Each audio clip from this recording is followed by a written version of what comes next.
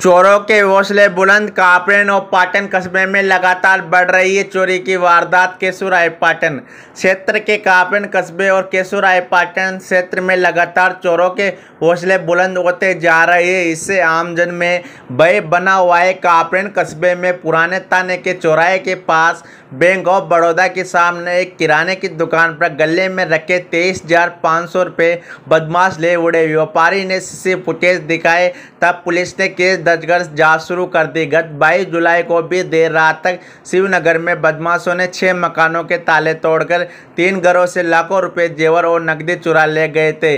किराना व्यापारी प्रेम शंकर गुप्ता ने रिपोर्ट बताया कि चाय पत्ती थोक विक्रेता के फ़ोन आने पर उनको देने के लिए तेईस हज़ार पाँच सौ रुपये रखे थे। इस दौरान युवक बाइक से आए दुकान पर एक युवक ने साबुन की पेटी पूछी और लेने अंदर गया तो युवक गले से रुपए निकाल कर फरार हो गया। वही केशुराय पाटन क्षेत्र में टायर के शोरूम से चोरी की वारदात, पहले चोर अंजाम दे चुके हैं। लगातार चोरी की वारदात से दुकानों में भय का माहौल बना हुआ है। जल्द से जल्द चोरों को गिरफ्तारी की मांग की। पुलिस द्वारा लगातार टीमें बनाकर सीसी फुटेज के आधार पर आरोपियों की तलाश जारी है। केसू राय पाटन से सुनील मेघवाल, जनता न्यूज़, संवाददाता।